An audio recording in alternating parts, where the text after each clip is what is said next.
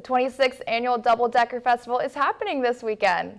Newswatch reporter Cameron Hass brings us more on what we should expect and what exactly goes into this highly anticipated weekend. When springtime rolls around Oxford, the excitement for the annual Double Decker Festival begins. The University of Mississippi Museum is a presenting sponsor, and Museum Director Robert Saarnio says visitors can expect new additions to this year's event music lineup. Musical acts, of course, are such a highlight, and there are going to be more venues for music uh, than um, previous years. Headliners this year include Ashley McBryde, Marcus King, and Blackberry Smoke. But in addition to great music, the festival is known for bringing in art vendors.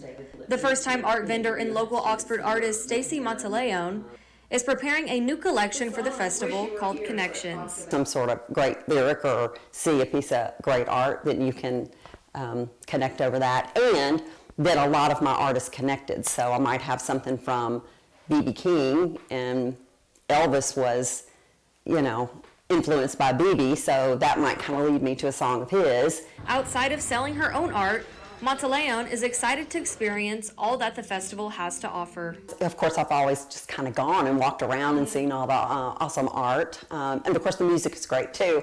So it's just a convergence for me of all things that I that I really love. The square is calm right now, but come Friday the streets will be flooded with people, especially North Lamar Boulevard, which you can see behind me, where the main concert stage will be set up. I'm Cameron Hass, Newswatch, Ole Miss.